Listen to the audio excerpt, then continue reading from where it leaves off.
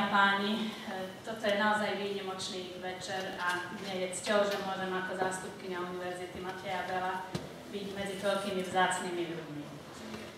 Mm, dobrovoľníctvo je kľúčom k aktívnemu občianstvu a k skutočnej demokracii.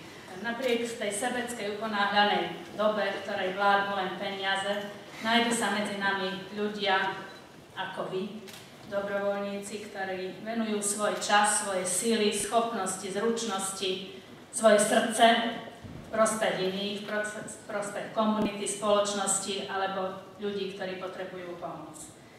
A ako už bolo zdôraznené, robia to nezištne, slobodne, bez nároku na zisk alebo nejaké osobné iné výhody. Prispievajú tak posilňovaniu pozitívnych hodnot spoločnosti a šíreniu ľudskosti. Vy ste tí dobrovoľníci, ktorých musíme oslavovať a ktorých treba nasledovať. Dobrovoľníctvo má rôzne podoby. Je úžasné, že vy, my môžeme dobrovoľníčiť v mierových podmienkach.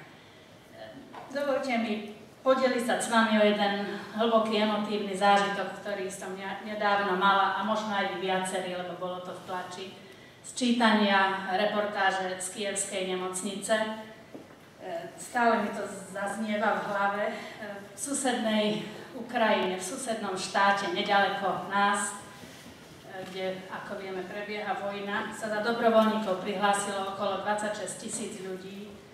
Medzi nimi sú to tí dobrovoľníci, ktorí sú aj vojaci, išli brániť svoju vlast, ale prevažná väčšina je žien dobrovoľníčok, ktoré sú manažérky, vedkyne, učiteľky, všetky možné zamestnania, zanechali svoju profesiu, aby mohli na čas, teda aby mohli pomáhať, kde sa dá. Sú všade a bez nich by krajina nemohla momentálne fungovať. Šijú uniformy, zháňajú jedlo pre vojakov, lieky, obvezy, protézy, invalidné vozíky pre tých, čo sa vrátili z frontu zmrzačení, Pomáhajú matkám, ktoré v nemocniciach ležia na zemi celé mesiace pri svojich umierajúcich synoch.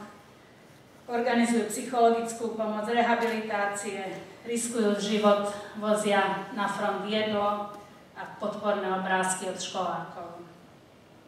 Dovolila som si túto malú odbočku len preto, aby sme si ešte viac uvedomili význam dobrovoľníctva, ktoré samozrejme najviac kričí v takýchto krízových podmienkach, čo ale neznamená, že jeho váha je menšia v podmienkach miery. Oslávme preto dnešný večer vás, ktorí sa rozdávate pre dobro iných. Ste našou inšpiráciou a my vám všetci ďakujeme.